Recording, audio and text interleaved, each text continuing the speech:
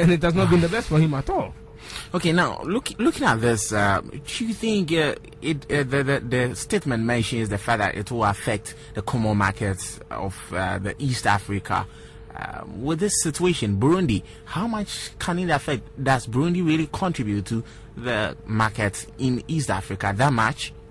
Well, if you look at uh, the uh, the context of Burundi in terms of economics, uh, Burundi is not a powerhouse Hmm.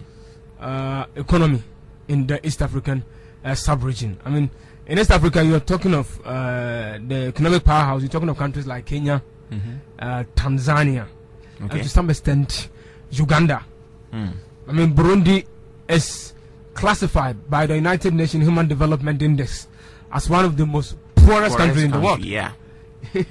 Burundi, Rwanda. Yes, I mean these are the countries which are classified. But then, co- considered as one of the poorest countries in Africa, is does yoga well? I mean, is this the story Africa always has? I mean, the poorest countries always having the highest corrupt index.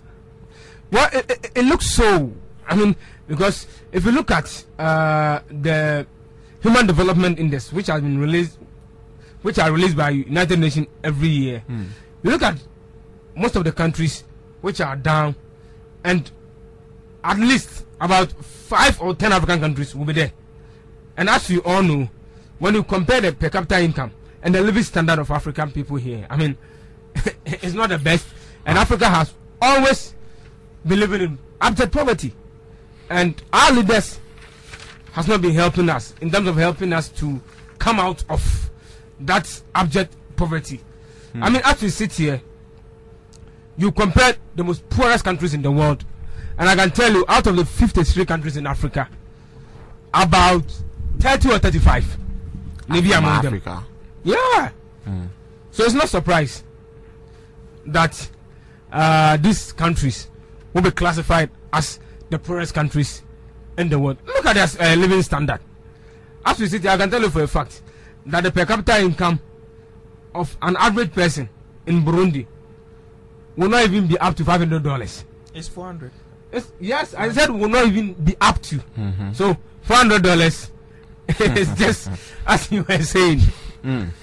So uh, even I'm not surprised about that. Okay, let me go to um, Douglas. Douglas just joined us right here on Focus 94.3 FM. The program is still Community Watch. It's your discussion board right here on Focus 94.3 FM. Again, as I said, I'm stepping in for the man, Nepugad Neza, uh, Nathaniel Atta Kusi. This is also one friend, Nathaniel, be from Nepugad Neza. So, mpocho hono wa one can Nebukadnezar. Yeah, Nathaniel Atta Kusi Nebukadnezar is out, and I'm stepping in. My name is Ebenezer Hineko Jr. I have Douglas in the studio to also help us out. Douglas, welcome. Oh, thank you, Ebenezer. Okay, now, um, if you listen to Bismarck, he was talking about governments not helping. Is it really always governments, but all we are also part of the issue of corruption and bribery? I think most of it comes from the government. Why do you say so?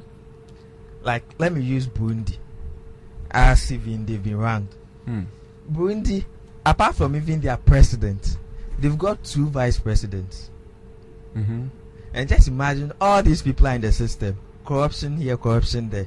But even as they were saying, they were talking a lot about their police, Hmm. the police sector, And the revenue service and the revenue yeah. as well. Uh, this corruption comes from the police sector, even as we know in Ghana. I think basically it's from the government, the public sector.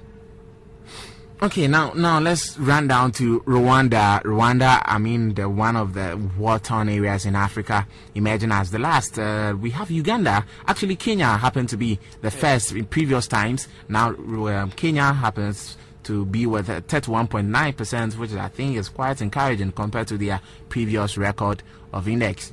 And but now we have Rwanda being the last with 6.6 percent.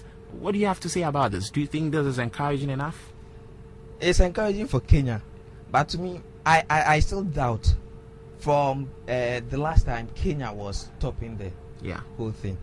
What if maybe it could come from, you know, they take all this in there from the reports that comes in, Mm. from the reports that come in, and I think Kenya, they were saying they had a problem with Kenya because there were not numerous reports as last time. Mm. So to me, I think there were Kenya, uh, the Kenyans. You think probably the, the real effect of Kenya might not be what is reflecting here? Yeah. Okay. No, no. Uh, I mean, uh, uh, this. I mean, I should put this on record. Uh, the the coalition government Yeah.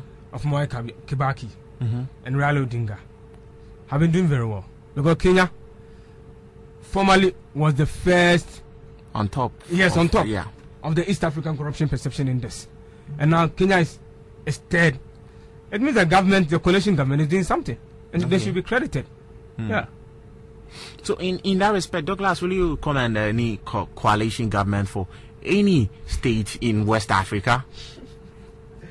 At least not for the taking Ghana. taking Ghana review, not for West Africa. If uh, the rest of the West Africa countries behave like Ghana, Hmm. because let's see the opposition and the ruling party always they are against each other. I don't think. Uh, But I guess it's so in all other countries. I mean, Raila Everywhere in the world. That's and, uh, politics. yeah. Everywhere in the world. Okay, l- let me come to you, Bismarck. Uh, with Rwanda, uh, prevalence of 6.6%, the Mm-hmm. lowest in East Africa.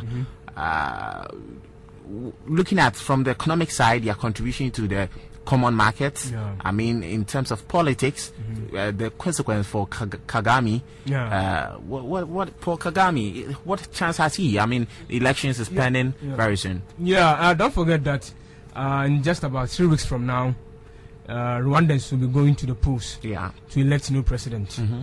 And I mean, even before that, Paul Kagame was straight ahead of all the candidates who were contesting or who are contesting But he's been described as a dictator by by a lot of people. I mean, from Yeah, from the international reporters, uh, with the likes of even I think at the World Cup, we saw the likes of the death of an opposition. yeah, opposition yeah. one of the opposition leader in South Africa. Yeah, but uh, with that issue, a court has found those people who are who were behind that killings in South Okay. Africa. Okay, Yeah, and those people have testified that Mm. yes, they did that.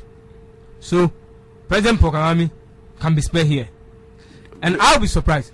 now w- will you will you look at it from the point of politics, where under politics certain sacrifices can be made? I mean, Paul Kagame um, assumes office if, again, he becomes the president again, and then decides to give amnesty. To those people who Yeah, Well, that can happen. Yes, I mean in Africa here, yeah, that can that can happen. Uh, but honestly, it will be very difficult for me to classify that as uh, using the killing as a sacrifice in order to secure political power, because I'll be very surprised if any of the candidates who are contesting Hmm. would defeat Paul Kagame to become the next president of Rwanda. you think he's more of a hero more than a dictator for Rwanda? Well, he is not necessarily a hero and not necessarily a dictator. But, you know, in Africa here, most of the government do, especially when it comes to elections, and when the sitting president is contesting, it is very difficult for the opposition to unseat that president. Hmm. Because, one, the military and the police will always be on the side of the sitting president. Hmm. And go to Rwanda and see. Paul Kagame party, I mean, is everywhere in Rwanda. And even there are some top, top, top state public officials who are vowed to vote for Paul Paul Kagame. Kagame. Yeah, because they think that, I mean, uh, from the death of Habyarimana, the man who died in 1991, which I mean, eventually led to the spark of the genocide in 1994. Since that man, Kagame is the president who has stemmed the tide of stability hmm. for the country of Rwanda. So it looks like almost most of the people do have some belief in him hmm. that this man should be given a second chance. Okay, Douglas, um, I, I have a very interesting um, uh, statement here. It says that Rwanda's critics say corruption is so low because it is a please state. I mean, please as in please state. That is how they put it. Now, it is holding elections next month, as um, Bismarck rightly said, but opposition groups say they have been barred from taking part. And uh, Transparency International said it was unable to produce a comparison of how Rwanda's institutions fared because reports of bribery were so low. Uh,